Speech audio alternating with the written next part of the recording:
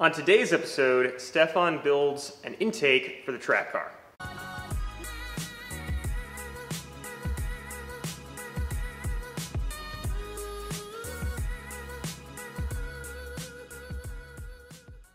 So we stole Dylan's Skunk 2 off of his uh, Miata right over there.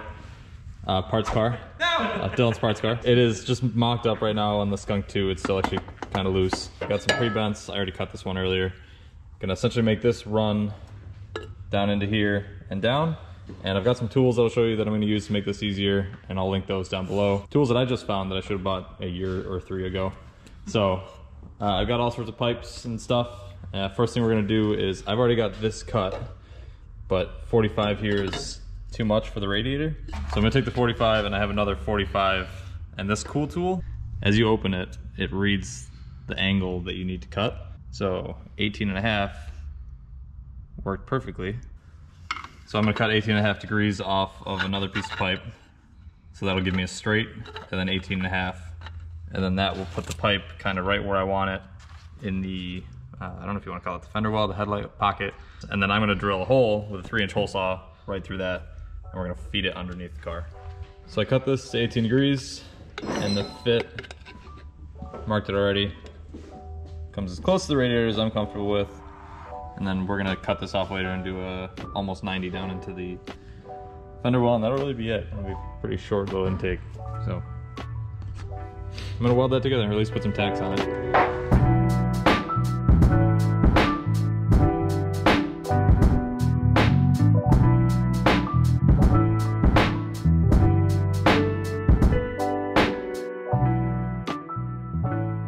So it is hole saw drilling time, which means this is all set up. This is just a shortened uh, two and a half inch coupler. There's the pieces I tacked together. This comes down to right around there, and then this blue dot here is actually halfway between the frame rail, which runs right here, and the upside of the edge here. So I spotted that in the middle, and it lines up with the intake hose. So I'm gonna drill through that, and then we'll put the last piece on the bottom of it, and IAT bung, which I have. So we'll do that today.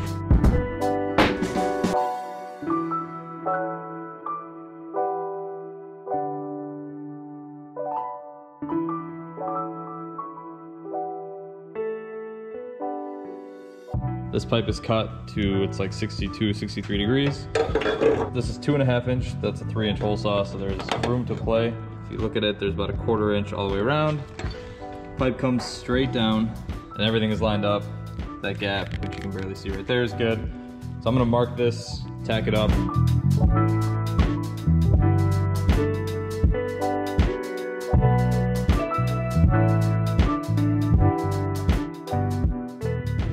So I whipped up a bracket down here to hold it all in place. This is just held on with that one bolt. And once there's a clamp up on here, this thing is gonna be rigid, but it can move enough the engine as the engine moves. The next thing I'm gonna do is full weld both seams. Thankfully there's only two. And then I'm gonna drill and put the IAT sensor just like right here, super easy to get to. If we ever have to swap it out, let's just pop it out, pop a new one in. It's out of the radiator heat path, so this should work really well. And it'll clear here too, because we have a second SPAL fan that's gonna go right underneath. So this has space. There's uh, a little gap there.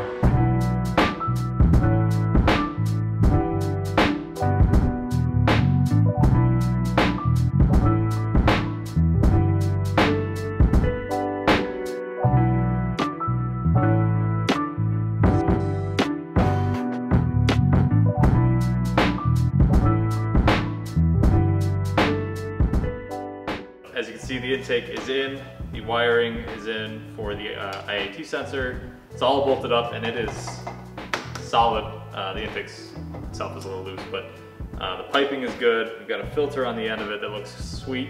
I can't wait to see what kind of IATs we see on the dyno and things like that and on track, especially with this. I've never seen a Miata with this kind of setup, so this will be cool to, to test out. But uh, let me know what you guys think. Have you seen somebody do an intake like this? And if you guys have heard results, I know the 21 inch intake is the magical number. 21 to the throttle body plate. On the money. right, right to the plate. Like I didn't plan that either. That's just dumb luck.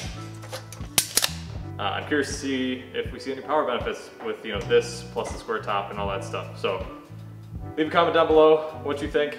Uh, like the video if you liked it, dislike it if you didn't.